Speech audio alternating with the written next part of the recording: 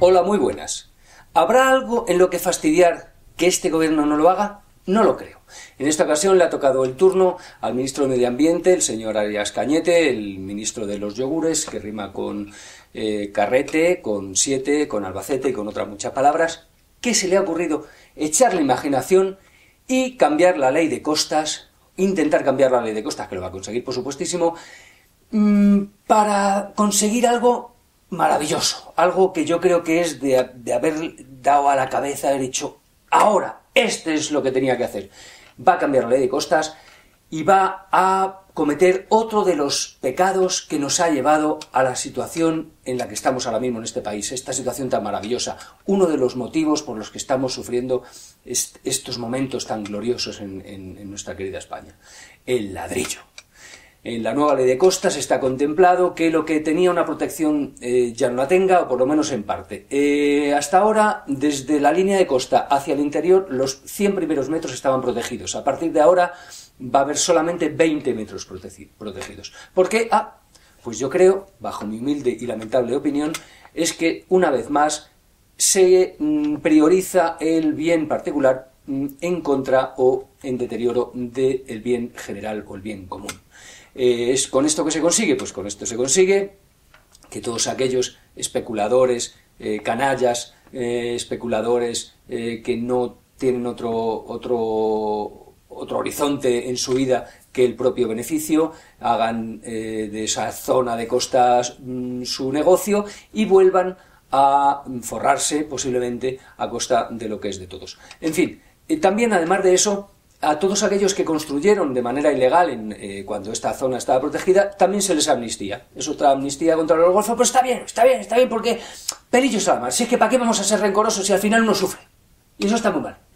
Eh, hombre, esto tiene una pega y es que posiblemente Arias Cañete, el ministro de los yogures, que rima con siete, con carrete y con albacete y con otras muchas palabras, tampoco vamos a dejar ahora a discriminar otras palabras, eh, va a ser posiblemente el último ministro de medio ambiente que exista porque a partir de él los ministros que vengan del ramo van a ser ministros del 10% de ambiente, porque no creo que, que ya dé para más. Bueno, esto es lo que yo opino mmm, sobre esta nueva ley de costas que vamos a tener. Hoy en, eh, aquí tenemos un, el testimonio de una persona que pertenece a la Asociación de Constructores Especuladores de Costa, que evidentemente quiere permanecer en el bicarbonato, pero que nos va a contar eh, los proyectos, los planes que tienen ellos una vez que esta nueva ley de costas sea aprobada. No pierdan detalle, porque si pierden detalle, al final habrá detalles que se pierdan.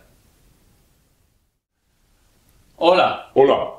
¿Qué pretenden ustedes en cuanto a la ley de costas se lo permita? Bueno, pues nosotros lo que pretendemos es que se recalifiquen una zona de mar, o sea, lo que son las 200 millas de mar que pertenecen a España, gracias a algunos alcaldes que nosotros conocemos, con los que trabajamos muy asiduamente, para poder construir urbanizaciones eh, acuáticas en el agua y esto será desde Granada hasta la costa de Tarragona.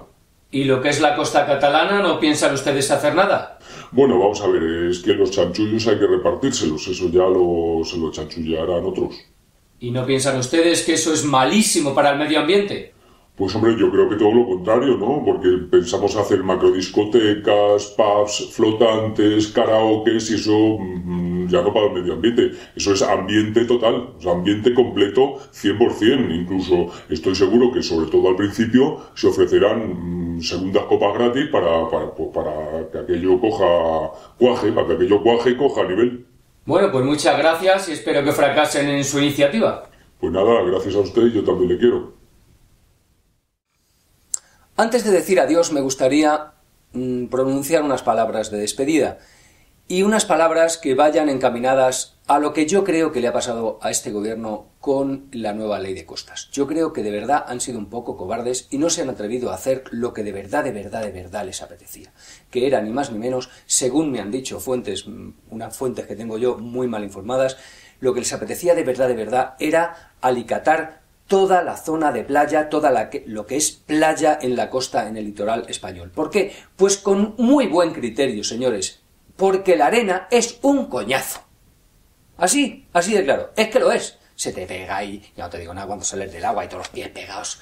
Un asco. Pero no se han atrevido. Para la siguiente. Adiós.